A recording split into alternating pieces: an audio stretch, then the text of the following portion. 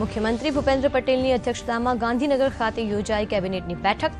Vibrant global સમિટની તૈયારીઓ તેમજ કોરોનાના કેસ તેમજ એમિક્રોન વાયરન્ટને લઈને આરોગ્ય વિભાગની કામગીરીની કરાઈ સમીક્ષા. તો વાયબ્રન્ટ ગુજરાતમાં રોકાણકારોને આકર્ષવા માટે મુખ્યમંત્રી ભૂપેન્દ્ર પટેલ, ઉદ્યોગ રાજ્યમંત્રી જગદીશ વિશ્વકર્મા સહિતનું ડેલિગેશન જશે.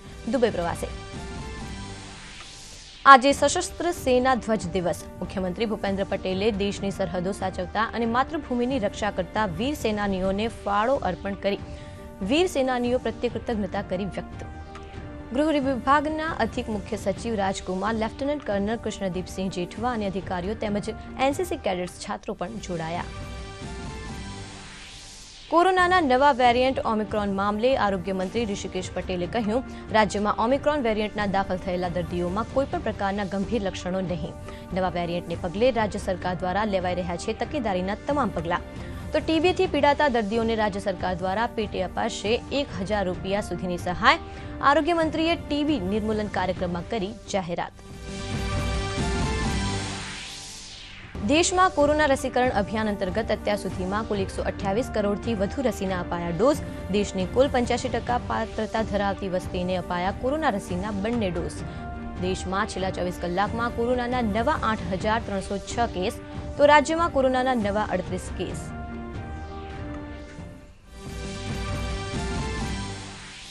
સુરત દુષ્કર્મ મામલે આરોપી ગુડ્ડુ યાદવને ફાંસીની સજા સુરત સેશન્સ કોર્ટ દ્વારા ઓગણત્રીસ દિવસમાં જ સંભળાવવામાં આવ્યો ચુકાદો ગૃહ રાજ્યમંત્રી હર્ષ સંઘવીએ કહ્યું બાળકીઓ પર દુષ્કર્મ મામલે રાજ્ય સરકાર દ્વારા અપનાવવામાં આવી રહી છે ઝીરો ટોલરન્સ નીતિ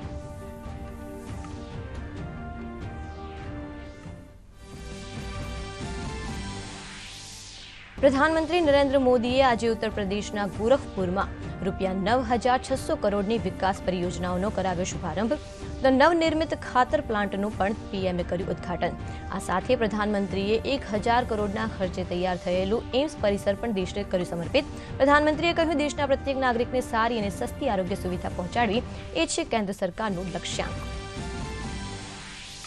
સંસદના શિયાળુ સત્રના બીજા સપ્તાહે પણ વિપક્ષના હોબાળાથી સંસદની કાર્યવાહીમાં અવરોધ.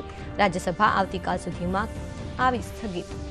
રાજ્યસભામાં આજે સહાયતા પ્રાપ્ત જનનીય પ્રૌદ્યોગિકી વિધેયક અને સરોગેસી વિધેયક બે હજાર વીસ પર થઈ ચર્ચા.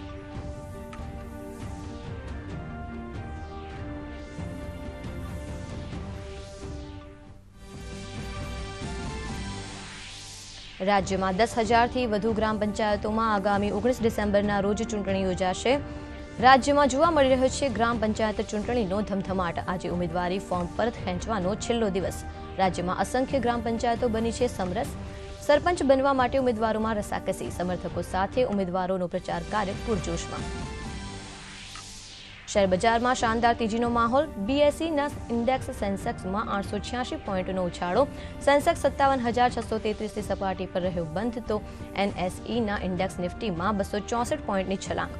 નિફ્ટીએ સત્તર હજારની સપાટી કુદાવી આરબીઆઈ દ્વારા પોલિસીની જાહેરાત થવાના પગલે શેર બજારમાં જોવા મળ્યો તેજીનો માહોલ.